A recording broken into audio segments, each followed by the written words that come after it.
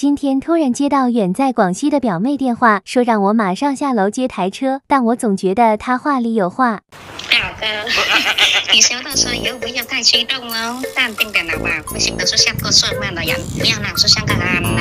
我的妈的，广西味儿太浓了呀！不像个憨憨吗？我看你不像憨憨，像废物。圈刚上市哦，很多人都还没有见过的。这是同一个人吗？